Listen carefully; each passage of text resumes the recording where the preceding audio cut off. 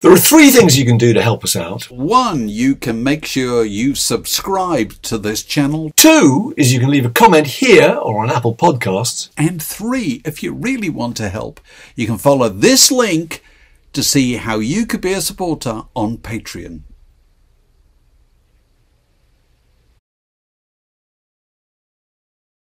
Word in Your Attic, a Zoom with a view. Welcome to another Word in Your Attic, where we're joined by one of the cornerstones of British music writing, of such distinguished long service that I used to read him in the Melody Maker when I was at school. It's the Uh, great oh, yeah. Richard Williams. Yes. a testament, testament not to how, how old we are, but how young you were when you started. Already. But it's great to see you. David. Richard, where are you? You are you- You're somewhere near Richmond, aren't you? Because you wrote a Uh, lovely yeah, yeah. blog East- the other day about uh, about all the local rock and roll landmarks. East Twickenham, Transpontine, Richmond. Oh, right. Excellent. Yeah, not far from you wrote about being near Eel Pie Island and the Yeah, and, and where the and where the Stones used to play. the Station Hotel, That's it. and the uh, and the rugby club where the Crawdaddy Club transferred to. Yeah. Yeah, Not, it's not where I come from, but uh, it's uh, loaded with history. That's for sure. that's right. And you're from well, not uh, was it? Were you born in Nottingham or did you grew up in Nottingham? No, I was born in Sheffield and grew up in Nottingham. Yeah. Oh, right. Oh, you're Can a you remember? This is the this is the traditional first question. Can you remember the record playing equipment um, in your in your home at the time, and what might have been on it when you were very young? Um, I've still got it. It's a wind-up gramophone. Oh, really? Wow. Yeah, Yeah, it was my mum's. yeah. And um, this is one of the things she used to play. on. Oh, fantastic. and that is a Fantastic. 78 um, Rhapsody in Blue by George Gershwin, played by Paul Whiteman and his concert orchestra, the composer at the piano. A two-sided Oh, orchestra wonderful. from Days for Records and Radio, 16 to 18, Shambles Street, Barnsley. Oh, that's fantastic. That's amazing. I got- love those days when you people used to, when your record shop used to, you know, have its own branding on the outside of, didn't it? Yeah, yeah. You used to advertise and said the fact you could also get bicycles from them usually, couldn't you? You know, they- electronic equipment. or washing machines. Washing machine, yeah, two bar electric fires. So was your, your mother was a bit of a, bit of a collector, was she? A bit of a Uh, well, I was Um, lucky that both my parents uh, loved music. Um, uh, my dad sang, my mum played piano a bit, um, and they both they liked classical music, but they also liked dance bands. You know, they'd obviously had a history of dancing when they were younger to Ambrose and Lew Stone and Roy Fox and Right. uh, all those people. So there were a few of those records around. So that was, you know, none of that was frowned upon in in our household. Did you do you play yourself? You did, didn't you? Yeah, um, You, you were in a skiffle band, weren't you? yeah. Um, yes, I. Pl- I mean, I played various instruments um, with varying degrees of competence, but I was in a skiffle group when I was about eleven or twelve, I suppose, and then uh, in a beat group, and then in a. What was the name of the skiffle group? Can you remember? The remember? group didn't have a name. It was a Oh. rehearsal group. Um, we had a. My dad was a, a, a parson, so we lived in large vicarages. I was very lucky. Oh, so you had rehearsal space. Had space, um, and the skiffle the era of the skiffle group. It was over the garage, um, in a room over the garage. So you know, I could. I mean, when I took up playing the drums, which is what I did eventually, I could make as much noise as I as I wanted, which was fabulous. Um, skiffle group didn't have a name, um, but you know, it was based on the principles laid out in this document. Oh, right. Go on. Tell us what this Go on. is. Go on. You, you have to read that out. Go on. Rock around uh, Rock Island. What am I talking about? Rock Island Line, the Lonnie Donegan skiffle group. Oh, right. Um, so that was my first, my own first record, '78. So this is proper. Um, the band's is proper, you know, b- biscuit box bass and you know washboard. yeah, and all- yeah, yeah, yeah. My dad made a T-chest bass, T-chest, um, with a, a sort of broom handle and a Yes. piano wire, uh, and my mum's washboard, um, and uh, a thing called a banjolele, which was half banjo, half ukulele, Yes. um, Yes. which I still have somewhere, um, and it was rudimentary, but you know. a gateway. The great. Yeah. It is the, it's, the, it's just fantastic to think there was a time when, when most households had a washboard and a tea chest. It's the, the idea of the tea chest is the extraordinary idea, isn't it? Yeah, it's a good a good way into everything. All that was. So when you when you became the Beat Group, well, can you remember the name of the Beat Group? Yeah, it was called the Pacifics. That Oh, was- right. That was a proper group. And of course, you know, that was Right, of the- you know, one of the things we were listening to at the time. Couldn't Oh. afford the knitwear. No, absolutely. it's fantastic knitwear, isn't it? Did you have any dance routines? Or the Fender guitars. Um, Well, not for you if we you're were the drummer. actually, actually, we were a bit more rockabilly than that. Um, I was lucky that the two guys who were the guitarists uh, and singers were more into the Johnny Burnette trio and Eddie Yeah. Yeah. kind of thing. So, so we did that, and I guess I was about thirteen or something then, and um, I had a snare drum, a, a cymbal, and a bass drum, and that seemed to be enough, you know. Um, but I do remember we played a function at the local village hall um, with lots of friends of my parents there. Um, it was a sort of a function. Um, and there were people sitting at tables and chairs, you know, being served exotic things like um, Black Forest Gateau. and there were various turns, all sort of local. And it, we were the last, and we came on and launched into some rock and roll epic, you know, with our tiny speakers and so on, you know, and minimal drums. And I just remember all these grown-ups getting up and fleeing to the back of the hall. too loud. It was like the Sex Pistols. Well, I hope you thought job done. You know, rebellious youth. Uh, completely. Were you paid? Can you remember if you were paid? No, probably not for that. No, I wouldn't have thought. No, it's pro bono. Yeah, yeah. And can you remember the first singles you bought or first records you bought? Well, that Rock Island Line was That would have been it. Yeah, yeah. yeah. The first album I personally bought was that. Oh, you see Oh, that? right. Yeah. Yeah, Glenn yeah, Miller yeah. story. From the Glenn Miller story, of course. Yeah. Sort of part of an, a very early stage on the journey into jazz. So what year would that be? 61, something like that. Right, right. Pre Beatles. Who do, who do you first, can you remember when you first saw professional musicians on stage live? Uh, yes, that would be dance bands at various local functions. Um, and I always used to go and observe what the drummer was doing very closely. yeah. Yes. Some kind of, do you know, do you remember Max Jaffa and the Palm Court Orchestra? Oh, right. Yeah. Yes. It would be something. It would Play be the fiddle. a yes. fiddler, yeah, and a, s- a sort of sweet saxophone player and you know, pianist and, and a drummer playing with brushes. But I was always very interested in that. Um, but the first sort of formal thing was Cliff and the Shadows, actually, at the Odeon in Nottingham. Um, and I remember that very clearly when I suppose I was 14. Um, and of course, there were so many girls screaming, I couldn't hear what they were doing, which was infuriating. you weren't entering into the spirit of this. Can you keep it down, please? Trying to listen to the Well, drums. yeah, what Brian, you know, Brian Bennett had just replaced Tony Meehan as the drummer with the Shadows, Of course. um, and Tony Meehan was one of my early heroes. So I was a little bit annoyed about that, but I wanted to hear what this new chap Brian Bennett was doing. Can you remember, and you, you probably will, what kind of technical, what was the technical setup of a group like that in kind of pre Beatles times? I mean, presumably just very basic amps. Yeah, I mean, no PA or anything like that, Well, was there? yeah, the, the sort of Vox AC. No, what were they? What were they called? Those sort of columns. The Columns, yes. one Yeah. on either side of the stage, uh, very minimal, and, and and an amp for each player. Very and no, no microphones on the drums, or, you know, in those. days. No, absolutely. It's just a distant racket, wasn't it? So you had to train your ears, didn't you, really, to appreciate it? yeah yeah but you know I, I- think i do think that the musicians in those days had to play with more concern for the balance of the, of the sound nowadays the you know the guy on the mixing desk does it all Yeah. or the person on the mixing desk does it all uh, but in those days you know i think you know you had to listen and think about what you you know what you were doing in relation to what the other people were doing Yeah. So you were you were playing in bands, and uh, were you starting to read music papers? Yeah, um, pretty early on, I read the because I had a very early interest in jazz from the age of about 12, maybe 13.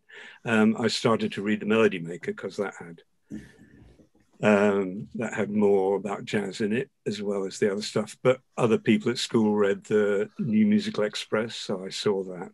Um, and uh, yeah, and I saw Disc, you know, which also had some quite good writing in it in those days. Um, when so did you start trying to write yourself then? Uh, when I was, I think, 15 or 16, I entered the Daily Telegraph Junior Jazz Critic competition. Oh, wow. Uh, wow, that's amazing. Which might have been judged by Philip Larkin, who was the Daily Telegraph's jazz critic. Of course, he amazing. And I came second. Uh, He's not in a position to deny it, Richard. If I were you, I'd say I Just was selected by Philip Larkin. I mean, Philip, we're going to say it. Philip Larkin was a decent poet, but a terrible jazz critic. there we are. Um, so I think that was my first attempt. At, Who were you writing about? Can you remember? Yeah, I can remember exactly. Um, I wrote about a Gil Evans album called uh, Out of the Cool, still one of my favorite albums. And the winner, whose name I don't remember, but who probably went on to make a fortune in the city, um, reviewed a Charles Mingus album, Tijuana Moods, which was a slightly cooler choice, I have to say. so was that the was that the incentive to go on and try and write what was it local papers or where did you where did you start writing after that uh, i got thrown out of school when i was 17 um, so i played in a band kind of semi-professionally for a year um, oh, really? around Nottingham in the East Midlands, and we we were called the Junco Partners, not to be confused with a similarly named band from Newcastle on Tyne, um, who were doing the same. You know, we we were doing the basic R and B repertoire: Chuck Berry, Bo Diddley, Jimmy Reed, um, Muddy Waters, and we were pretty purist actually about it. Um, we didn't believe that you should write your own songs. You know, actually. may have been our downfall. Um, but anyway, we had a lot of fun. We supported lots of people. Um, Screaming Jay Hawkins. Oh wow! Uh, somewhere here, somewhere here, I have a copy of the script now. I don't think I'm going to be able to find it. Never mind. Um, yeah, we supported Screaming Jay Hawkins. We supported uh, the Moody Blues when Go Now was at number one. Fantastic. Dungeon Club. so that's quite a big venue. What? Quite a big venue. If that, oh, yeah, was... yeah, we played some decent places. Um, that was when the Moody Blues were wearing those double-breasted midnight blue suits. Yes. Yeah. Pretty cool. Um, and Tom Jones, we was just about our last gig. We supported Tom Jones. The week it's not unusual got to number one. Fantastic. Oh, the Squires. yeah. So uh, you were intending to be a professional musician? Not really. Um, Is that what you told your parents? Uh, oh yeah, they were they were fine. You know, they, yeah. were, they were okay. I mean, you know, I was 17, and I, you know, I'd go out to some far flung uh, bit of the East Midlands and get brought back into transit at two o'clock in the morning, and they were cool with that. Um, but I think I thought I'd better get a proper job. I didn't think I was ever going to be good enough because um, I was judging myself by the jazz drummers that I listened to. yeah, yeah. who were, of course, you know, fantastic players. And, um, you know, when I was 17, a guy called Tony Williams, who was a few months older than me, had joined Miles Davis, you know, and was revolutionizing music. And I thought, I'm probably not going to measure up to that. Um, and I'd always kind of wanted to be a journalist, so I got a job on the local paper and did four with, with presumably a kind of music column as being part of it or yes and it was great at the time um, because it was when local evening, I was on an evening and a morning paper in Nottingham, and they knew that there were these people called teenagers, and there were quite a lot of them, and you know, interests of their own. But all the editors and sub editors and so on were too old to know anything about it. So you could do what you, you know, they give so you. You didn't a, have to clear it with anybody. You didn't have to say, I'm going to write about Velvet Underground or whatever. Yeah. Well, it's funny you should say that. here, I just found this the other day. I've been looking for it for years. The Guardian Journal, Nottingham, which was the morning paper, Saturday, November 25th, 1967, which was when the first Velvet Underground oh, right. oh, came right. out in this country in November 67. Yeah, yeah. There we are. Can you see that? There is a oh, fantastic review of the first Velvet Underground in, in the local paper in Nottingham. That was probably. Did you get any response to that? That was probably before it was in any British music yeah. paper. Actually. Yeah, yeah, yeah. Oh, completely. Yeah. I mean, there was a bit in the, there was a paragraph in in IT, I think, and that was about it. And that was your lot. Yeah. um, so yeah. you didn't get irate readers saying, I, I bought this record recommended by your music critic and I, I, I insist on a refund. No. no. no. Uh, no, and I wouldn't have taken any notice if I had. But of course, you know, this was before social media. So yeah, feedback yeah. was virtually non existent. Thank goodness. Uh, right. It was great. So I could write about, you know, I don't know, Hendrix or, you know, whatever I wanted to write about. It's great. So, so I, did, did that lead to the Melody Maker? Yeah, very much because um, I could build up this fire. You know, I could write about yes. John Coltrane and Albert Ayler. You know, yes. in, in, the Nottingham Guardian Journal. So I could I built up this file of cuttings that when uh, I went to see the Melody Maker, you know, I could show them these. You know, I can write about all this stuff. Yeah, um, yeah. Was, so is that what you did? You went went down to London with the with the cuttings and presented yourself and said, you know, I'm available. Kind of. Um, who was the editor? Jack Hutton. Yeah. Um, who was the guy who modernized it in the 60s. Uh, and in 69, I'd written, I'd sent him a review on Spec from Nottingham, which they'd printed and had liked it. Um, it was actually Maynard Ferguson, the jazz trumpeter, had come to play at the Palais. Um, and it was quite newsworthy. So I, I, thought, anyway, so they printed it. And then the assistant editor, who was a guy called Bob Houston, was leaving, and he wrote to me uh, and said, "I like that piece, and I'm leaving. There's going to be a vacancy, so you know if you want to apply, why not?" So I did, and I went down and saw Jack Hutton and took my cuttings and got taken on as a kind of as the most junior person in the office. So who else was there? Yes, Where was... were you in those? Days? We were in, we were on Fleet Street. Um, no which was fantastic, you know, to start your career in London on Fleet Street, even if it was the Melody Maker. You know, it was absolutely opposite El Vino. You know, terrific. Um, and uh, Chris Welch was there. Um, who else would you? Most of the people, m- m- quite a lot of the people who were there moved on within six months or so to start Sounds. Yes, of course, because yes. Jack Jack Hutton started. Jack left yeah. to start Sounds and took a lot of people with him. And yeah. Chris, Chris and I were really the only two who um, who held out. Uh, Chris out of sheer loyalty, and I thought, well, I've come down to London. You know, I'd come down to London six months earlier to work on the Melody Maker, and that's you know because I really liked it and I was you know pleased with it. Um, I'd actually been turned down by the NME, but I'd written to the NME. I didn't think I was good enough to join the MM, so I thought, well, I'll try the NME. Maybe. um, seriously, that's yeah, no, no. Um, and got turned down by Andy Gray. Still got the letter. Um, you, he's kept the letters, ladies and gentlemen. Yeah. you'll get even.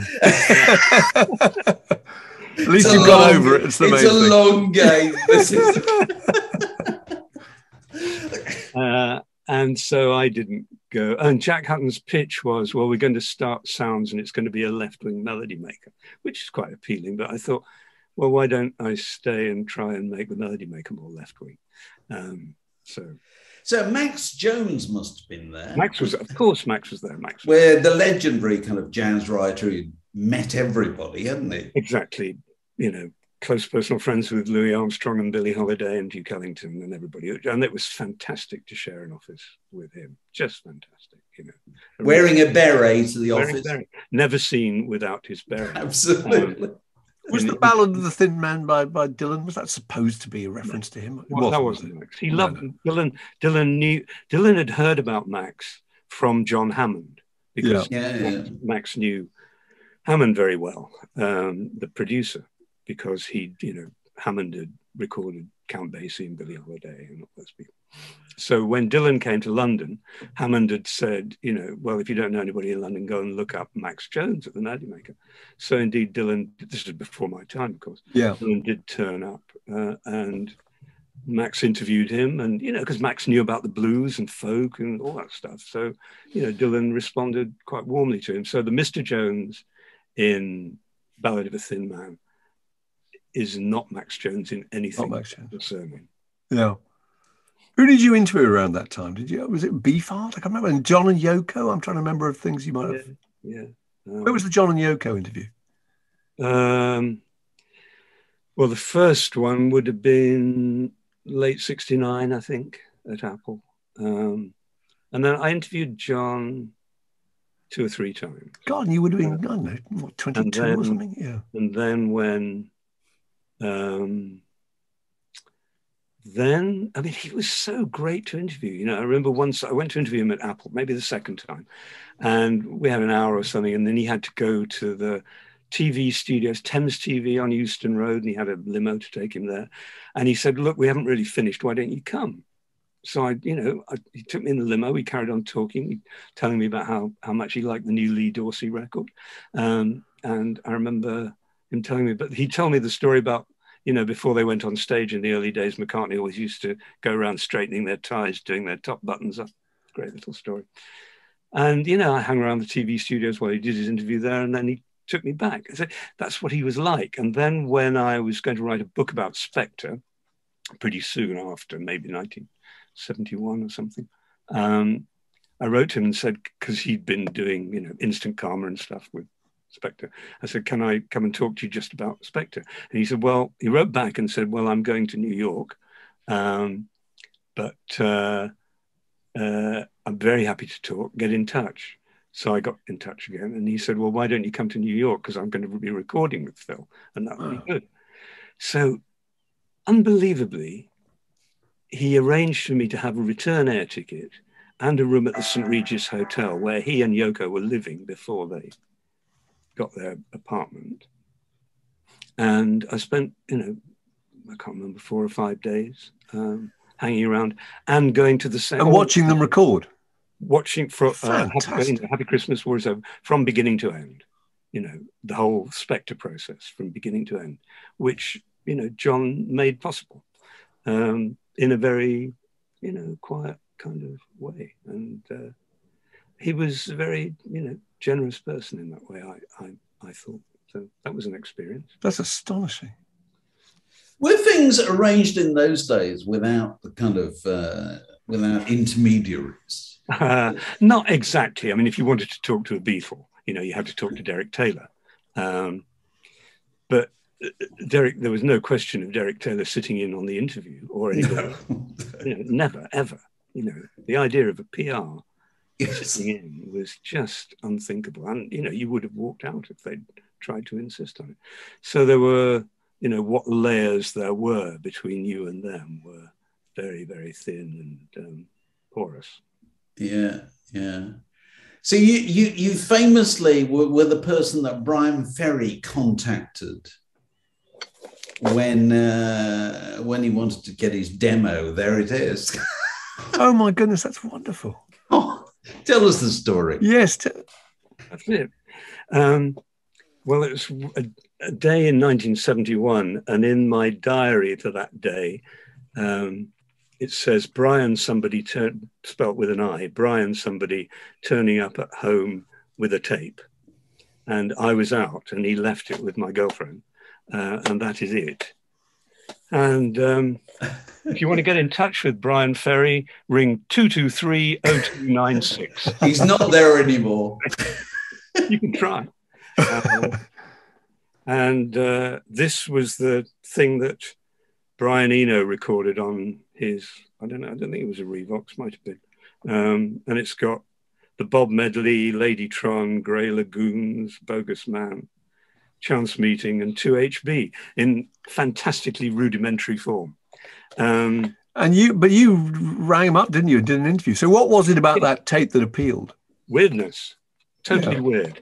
Um, I, I sometimes think that maybe I played it, you know, two tracks simultaneously or something, so it sounded even weirder than it actually. um, and I, you know, I was always interested in experimental stuff. I liked experimental jazz. I like experimental rock music. Always, uh, sort of at that stage, the weirder the better. Um, Uh, and um, this, you know, had a lot of strange stuff on it. And it was the it was a very early lineup with a kind of classical percussionist. Um, it was actually an American uh, draft dodger, I think, something like that. But he was a classical percussionist. And uh, different guitar players and, and, and so on, and rudimentary, and this strange singing, you know, very strange singing at the time. So I thought, this is interesting. Um, so I rang him up and we met. I think I took him, I think I interviewed him at the Golden Egg in Fleet. You see, this is the detail I love. The Golden Egg. It's the idea of London. It gives you such a wonderful idea of London in those days. Yeah. You know, the, the hippiest place to go was the Golden Egg. Yeah. And um, uh, anyway, I liked him very much. And he, he, you know, talked about the Velvet Underground and Charlie Parker and lots of stuff I liked. And um, uh, we got on, so I wrote a piece about him saying how interesting this thing was. And, you know, he was saying, well, we don't really want to hack around the colleges, you know, we, we don't want to pay our dues in the way that everybody was having to at the time. And that was quite. Um, It's so Bryan Ferry. so Bryan Ferry, yeah. yeah. Uh, but he was charming and, you know, clever and. Um, and then I got to meet the others, uh, and I went to I went to the audition they did for EG management to people who managed them and signed them to Island, uh, which was in a cinema in Brixton, I think. Um, that was fun. And I, I, saw them at the Hundred Club, one of their maybe their second or third gig. And you know there was something going on. You know they had Brian Eno at that stage sitting at the back with his VCS three at the back mm. of the hall, you know, kind of mixing the sound and interfering. Um, and that was interesting.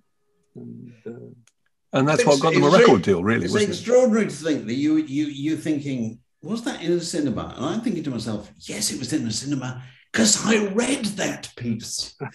and, you know, it's amazing to think that you know you read those things all those years ago, and you it just implanted ideas in your head that stayed there. Yeah. Well, that's what had happened to me for sure. yeah. I read, of course. You know. Yeah, it's just extraordinary how you can repeat whole sentences you read in music papers. Yeah. Yeah. 50 years ago or whatever. Well, it was your only source of information about It that was, stuff. And so it wasn't it? was incredibly precious, wasn't it? Yeah, yeah, yeah. Well, also there was the feeling that you had, you know, I always felt how valuable it was to have to work hard to get to the stuff you that, that you know completely turned you round. Um, you know, my daughter, my daughter said to me the other day, she'd been listening to um, Roll Over Beethoven, the Chuck, you know, the original Chuck Berry, and she said, she said, "Do you know what the lyrics are?" She said, going to write a little letter, going to send it to my local DJ. There's a rocking little record I want my jockey to play. And, uh, you know, she's a child of the social media age and streaming Yeah. and all that. You know, she doesn't even have a record player, loves music. But, you know, the idea that the only way to hear this record was To write a letter. That's right. play it. And I, I, you know, 'cause so you, you know, when you discovered something, it became very, very precious to you. Oh, absolutely, because it was really hard to do, wasn't it? It didn't come your way at all. So you you you ended up round about this time talking about Roxy Music. Not long after this, working for Island Records. Yeah. How did that come about then? Did, did Chris Blackwell approach you or, or was it well, because of, um, there were um, Island had offered a trip to Jamaica. This was at a time when reggae was completely unfashionable. You know, reggae was fatty bum bum. yeah, Desmond Dekker and yeah. rock, rock fans despised it. Yeah, Yeah. So Island offered a trip to Jamaica. This would be 1972, uh, and they offered it to Michael Watts, who couldn't go, and it got passed on to me. Now, I really wanted to go, um, and the idea was to go and meet Chris Blackwell in Jamaica and just hang around and listen to some reggae records being made. And nobody thought that sounded very exciting. So I went, got there, and met Blackwell. And he said, Well, tomorrow, he said, I've got this group called the Wailers that I'm recording. I said, Oh, I know about them. How did I know about them? Because in 1965 or six, six, I think, I bought this, right, Put It On by the Wailers, right. and their follow up single. And I loved it, loved that record to death, and I had no idea. You know, there are no composer credits on that label, and no, I had no idea who they were. It's just a brilliant, brilliant record. Um, as was the follow-up. So you know, there's obviously something there. So I told him I knew about this. He said, "Oh, that's good." Um, yeah, he said Bob Marley was a really interesting guy. Was the lead singer. So we went to Harry J's studio um, where they were recording uh, Catch a Fire, what turned out to be Catch a Fire. And Blackwell had done a very unusual thing. He'd given these guys uh, a lump of money to make an album. Nobody did that in reggae at the time. You know, they get, you got $25 to make a single, Jamaican dollar. Um, but he'd given, I can't remember, 12,000 pounds or something for, to make a whole album. And I can't tell you how great it sounded in the studio. I mean, it was just sensational. And I talked to Marley a bit. Um, and the next day we went to Dynamic Sounds, where Toots and the Maytals were recording with the rhythm section there. And that was fantastic too. But there was something different about what the Wailers were doing. And I came back and wrote a piece um, saying that, you know, if there was going to be a Jamaican Sly Stone or Curtis Mayfield or Marvin Gaye, this was going to be it. This bloke Bob Marley and this group, the Wailers, which kind of turned out to be true. Mm-hmm. There's Polaroid I took actually. Can you see that? Let's see. That's oh, Bob on in the hotel, Skyline Hotel in Kingston, on the day that he signed his contract with um, with Blackwell. Fantastic. to sign the contract. um, so that was pretty amazing. So, how did that lead to a job? Oh, uh, well, I got on with Blackwell. Um, very well. And I'd been around Island in their old offices in Basing Street in Notting Hill, you know, to interview various people over the preceding year or two. Um, and then the next I heard was that Muff Winwood, who'd been the head of A&R, who was the bass player with the Spencer Davis group, was moving over from A&R to run the studios. And they, you know, they obviously wanted somebody. Um, so they got in touch and I went and talked to them and did they want you to sign a particular type of act? No, no specification whatsoever. Um, you know, and I had dreams of being John Hammond or Ahmet Ertegun or Jerry yeah. Wayne or somebody, you know, as, as you would. Um, and it was very interesting. I was there for three years. Um, uh, the company was changing quite a lot, growing very fast. Roxy, the Wailers, Traffic, Sparks, all those things um, my own. I mean, my, they, what did I do while I was there? Uh, Richard signed, and Linda Thompson record released, didn't you? Yeah, I got that released. Yeah, yeah. Um, I signed Pete Wingfield, um, who I think is a previous. Uh, yeah. So, so bright lights tonight. Let's just talk about this for a second. Okay. I want to see the bright lights tonight. White, still regarded as one of the great records. They made it, and they weren't. Nobody was going to put it out, were they? Is that right? Yeah, um, Henry the Human Fly, which was Richard's first solo album. I, I, think they had great hopes for that, and it had been a disaster. Nobody bought it at all. Um, and Richard had gone off and uh, made this record with Linda um, and brought it to the company a few months before I joined. And you know, probably people had other things on their minds and just nobody was interested. Um, and it had been put on the shelf. And I think it was John Wood, the engineer, um, who engineered all those Joe Boyd, Witchseason, Fairport, blah, blah, records. Um, I knew John, and I think he got in touch and said, you know, there's this record Richard's made that, you know, you should hear. So I think he gave me uh, a tape and I listened to it and, you know, it was obviously fantastic. And I, you know, I liked Richard anyway from Fairport. Um, so it was a fairly simple step to to get it released and people loved it. And it's, you know, I want to see the bright lights might have, you know, might have been a hit single might have been. Yeah, yeah. Okay. It, was, it was an era when odd things were yeah were being hit. So. Had a brass band on it, so it was a good band. Peter Skellern. Uh, um, yep. Anyway, but it was obviously a, a good thing to do. Yeah. So that must have been a real kick, though, mustn't it? For a, a guy who'd been a fan and written music paper for the music papers, suddenly being able to say, "I can get that record released." It's Yeah. a bit of power, isn't it? And then then I managed to sign two uh, ex members of the Velvet Underground, Cale and John Cale and Nico, which was also fun in a kind of way. Um, that was that was interesting. Um, if you uh, if you can see that jacket behind Right. Yes. that belonged to John Cale. All right. I've been doing a bit of set dressing. Uh, Yes. I bought that. I bought that off him for for. I'd, I'd admired. He'd been wearing it, and I'd admired it. You can't probably see it. It's kind of blue with a yellow stripe, velvet, quite wide lapels. Yeah. It would be 1974, or five. Um, and uh, one day he said, he said, "You want to buy my jacket?" I said, "Yeah." He said, "Fiver." So I gave him a, what he needed a fiver for. So it, absolutely urgently, I. Couldn't possibly comment. But anyway, uh, I don't suppose it would fit either of us now. Anyway, so I won't bother sending it back.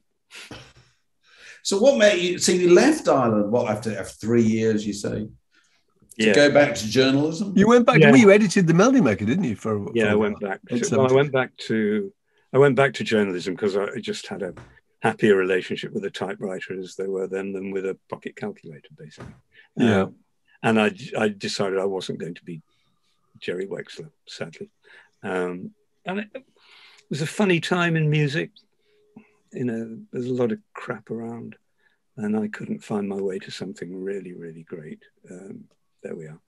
So I went back to journalism, and I actually the first thing I did was edit Time Out for, Oh yes. for two years for Tony Elliott, which was really interesting because, you know, as well as music, there was film and theatre and dance. And, And also the whole market was so buoyant. The advertising market was so buoyant that uh, that, that really editors were kind of left alone, weren't they, at that stage? absolutely. There wasn't much intervention because the money being made was astonishing. Yeah, it was. And, you know, the Melody Maker and the NME too. Um, you know, when whenever somebody signed to Vertigo, you know, and had their first album out, whoever they were, you know, they had a full page ad. Yeah, they did. Yeah. you know, hundreds and hundreds of pounds at the time. Um, so yeah, it was. So you, you and obviously, you know, IPC who owned those music papers, you know, they just thought, well, this is coining it for us. Do you remember any covers of the Melody Maker at that time you were particularly proud of? Uh, do I- the Melody Maker, you know, the Melody Ray Coleman, who was the editor after Jack Hutton left. Um, so he was my, you know, I was his deputy for a while. He saw it as a newspaper, not as a Mhm. magazine. Yeah. So the MM always had that. You had to have a story on the front page, Mm, uh, mm. a news story. You know, whether it I was still remember some of his headlines. Bay City Bonkers, Wings Metal Fatigue. Sorry, carry on. the low point. I always thought was a picture yeah. a picture of um, Leo Sayer in a kind of 20s suit with Leo's Gatsby look. we all we all looked a bit It askance. must have been flying off the stands that week. Yeah. But the thing is, you know, at that point, you know, we were selling 200,000 copies a week and Mm. nobody, it Mm. didn't really matter what, you know, in a way for a long, because people were going to buy it anyway for, Yeah, a- yeah. a while until things changed a bit. Um, but co- so covers, um, do I remember covers? Not really. Right, right. It wasn't really a covers. No. There was a good, Mary Harron wrote a great story about Andy Warhol. And we did a Warhol cover. I remember that quite late on. Yeah. So what happened after that? After your after your time back at the Melody Maker? Um, I left the Melody. Maker. Do you remember there was a strike? There was an IPC strike. There was always an Remember it vividly. strike. 1980. Uh, Yeah, 1980. It's in about They- May 1980. They leaned on me to put out what we would have called in those days a scab issue. uh, in other words, without any of the stuff. And I didn't want to do that. So I left. Um, uh, and we were just about to relaunch it, actually. So I don't know whether that would have been good or not. Um, I left and then and freelanced for a bit and then joined the Times. Um, uh, partly because Murdoch had just well, I'd written for the Times as a freelance for a long time, reviewing, um, and then Murdoch bought it and he wanted to do a kind of listings thing um, in it. Harry Evans had taken over as editor, and you know, I knew people at the Times. I'd edited Time Out, so I knew how to do listings. Um, so I went there, joined the staff, did that thing, which was a sort of section called Preview, uh, all arts stuff. And then I became deputy sports editor, and then I became features editor. So I was there for ten years. Right, right. And not doing very much music. Well, some some music writing, but not a huge amount. Uh, then I went to the Independent on Sunday. Then I started writing about sport, and then I went to the Guardian. How did you? What's the what's the biggest difference between the world of sports journalism and the world of music journalism? um, the difference is you have a result to write about. You know, somebody won one nil or won by an innings and hundred runs, or you know, or you, you can measure that they ran 100 meters in 9.35. That's a really good point. Because with most music, with possible exception of jazz, you kind of roughly know what's going to happen. Jazz, there is this sort of uncertainty that you may. Well, that's one of the, reasons I like jazz so much. You know, you yeah. go to a jazz club, it's like going into a sports arena. Um, you know what the rules are, and, but you don't know what's going to happen. Yeah, and I like that very much. Uh, but also, I don't know whether you found this sometimes writing about music can be exhausting as a critic um, because it's abstract and you're, yeah. you're trying to describe absolutely something that's not it's incredibly hard which people don't realize yeah. You're writing about something you can't see, which is well, why most journalism is either about the CV of the person, their life, or the way things look. Yeah, yeah, and so sport is a lot easier in in that respect, yeah. but it's much more yeah. difficult. It's more difficult technically because you know you have to know the rules in a way that you don't necessarily have to know the rules of music. You know, you don't have to know. No, sure. You know, a G minor scale is to yeah about David Bowie apparently, um, but you uh, you do have to know a bit more about the various sports when you write about them. Um, and it's more taxing in the sense that you're always filing to very tight deadlines. You know, you're writing at a match, writing while the match is on. Um, but I'd done a bit of that when I was on local paper, so in you know in quite primitive circumstances. So yeah, you used to used to presumably just dictate reviews down a down a down a phone to a, to a to a copy taker. Yeah, yeah. Uh, in in the early, especially when I was writing for the Times in the early 70s. Um, everything had to be printed in the next published in the next morning's paper. Yeah. So you know i'd have to you know if i was at the festival hall or somewhere or so you're effectively reviewing it during the gig. And you'd have to go out and find a phone a payphone because there weren't any mobiles you know. You'd, you'd go and find and, and talk your review dictate it to the copy taker. Yeah which led to some pretty amusing um, misunderstandings. Um, but uh, it was very good training, all that for yeah anything that journalism might throw at you. So, what stuff have you got? There? Have you got some old records and things that you've you were other records you were going to show us? Oh well, I can show you lots of things, but um, um, uh, yeah, well, well, we, we sort of jumped past the history. Um, but the two really important records to me after Lonnie Donegan and Glenn Miller, yeah, yeah. Um, and the Shadows were that. Right. yeah. Milestones. Milestones. On Fontana. Where? On Fontana, yeah. It was at CBS in America, Columbia in America. Yeah. Right. On, on Fontana. And that, I thought when I saw that, I thought that's the coolest thing I have ever seen in my life. Right. Um, and it and the music sounded exactly the same way. And I still think the title track of that Milestones is the probably the peak moment of Western civilization. Right. Um, you know, unimprovable. Yeah. One of those perfect things. Oh, and the other. That's the other thing. When I was at school, we had a jazz society with about five members. Um, one of the one of the boys came in with that, and that was an absolute revelation. Yes. Muddy You see, hearing stuff like this in a school classroom was so much of a part of growing up in the 60s, wasn't it? You know, you so often did hear it on a school record player. Yeah, yeah, exactly. Um, can I tell you my other school story? Yes. Um, we had a, a, a sort of classical music society, which I was also in, which had about maybe 40 or 50 members. And one of the perks of being in the classical music society was that you got to be an usher at concerts. At, we in Nottingham we had an Albert Hall, which was like a kind of the th- like the Albert Hall, but probably half the size, and it's where the classical concerts were, and occasionally other sorts of events. And in March 1964, it was announced that the Rolling Stones would play there.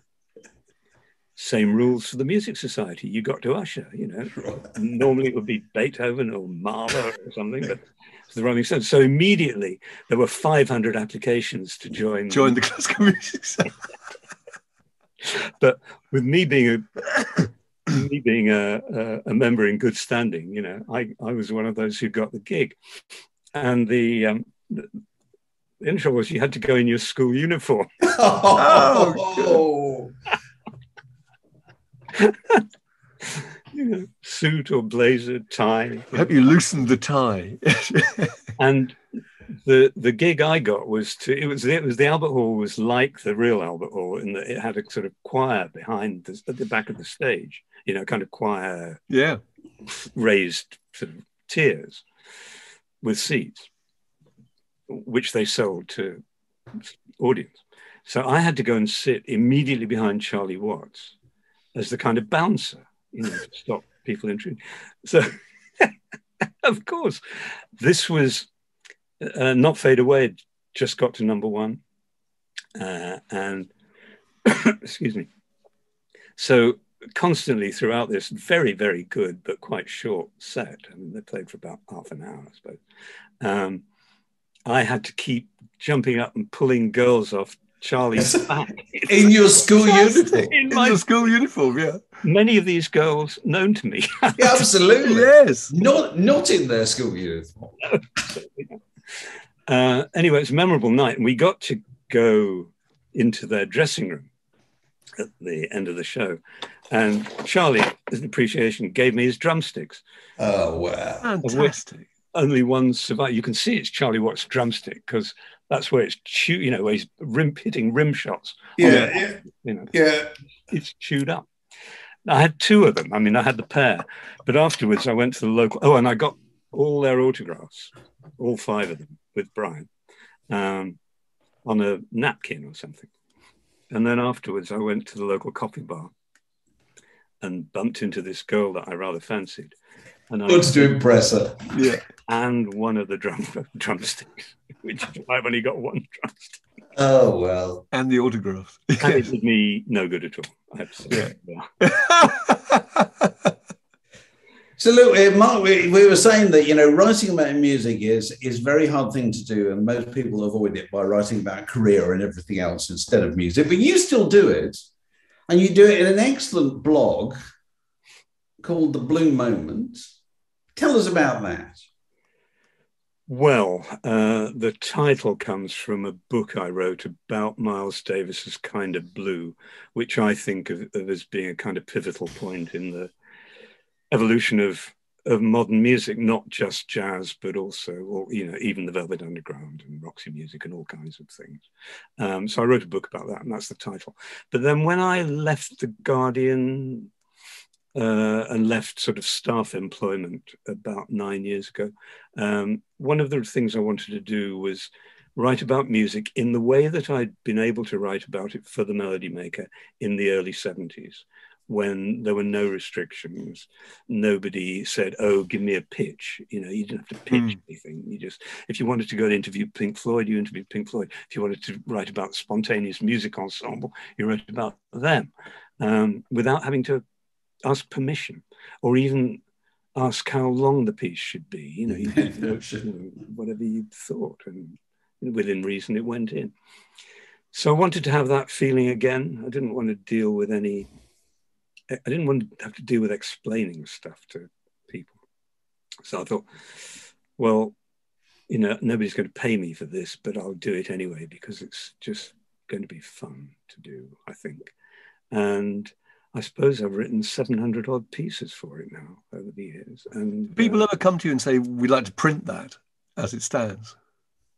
Uh, no. No, they don't, and I think that's because I write it in a, in a rather conversational kind of way. Yeah, it's mm-hmm. not it's not really intended for. It's not intended to be in print. Yeah, um, and it's not intended to make money. People also say, "Why don't you monetize it?" um, and I think, well, if I tried to do that, I think it would change the nature of it completely. Yeah, I'd start looking at the stats. Yeah, yeah. And I'd start thinking, oh, when I wrote about Hendrix, you know, I got four. Did this? yes, I must do more of that. Exactly. Wrote about some obscure uh, piece of German free jazz, you know. Um, and I don't want to think like that. I want to think like I was thinking, you know, in 1971 yeah. or something. And it's very satisfying. Um, uh, yeah. Uh, so that that has brought me a vehicle for the same kind of enthusiasm. Yeah. Well, it, well it, it's much valued by people who read it. it um, it's terrific. Uh, it's, you know, it's, it's one of it, one of a kind. So we traditionally finish these chats by asking people to tell us the greatest record ever made? Now I know it's a stupid question.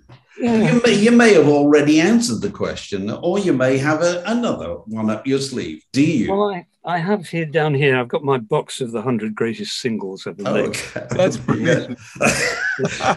Break glass in place. You've narrowed it down to hundred anyway. That's good. It, it's you know the, the the number one is probably not your ma said you cried in your sleep last night by Kenny Dino. it's up. There's a new one on me. Could be. Uh, I just, I think it's. I've narrowed it down actually. Oh. I've narrowed it down to to five. Um, Caroline, no. Uh, of course. Oh, right. Of yes. course. And, uh, Brian Wilson, not the Beach Boys. Nope. By Caroline, no by Brian Wilson. Was it? it that's how he came out originally, was it? Yeah, in America. Right. Um, Go Now by Bessie Banks. Yeah, of course. Oh, on, on, Dave Godin's Soul City label. Yeah, yeah, yeah. Will You Love Me Tomorrow by the Shirelles. Oh, of course, on the old top rank label. Oh, what a joy. Um, I'm not ashamed of this.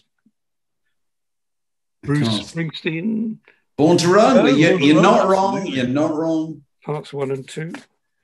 But number one. You're going to have to lift it up a bit. I can't yeah. see that. Tracks of My Tears by The Miracles. Not Smokey Robinson and The Miracles. No, no. The no. Miracles. No, was, this was about a year before uh, they became Smokey Robinson and the Miracles, but of course it was Smokey Robinson. And it's also one of those rare records where, you know, a, an absolute classic, a work of genius, where the B side, A Fork in the Road, is just as good. How is it? Um, you know, how many of those are there? Strawberry Fields, Penny Lane, yeah. um, His Latest Flame, Little Sister, Elvis, you know, one or two others maybe. So, Tracks of My Tears.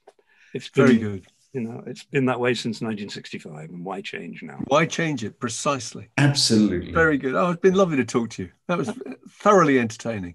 Well, thank you very much for inviting me.